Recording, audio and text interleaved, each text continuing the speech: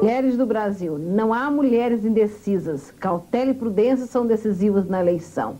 A mulher nunca antecipa seu voto. Entenda a preferência feminina. E estou confiante, há 100 anos nada mudou. Jamais seremos derrotadas.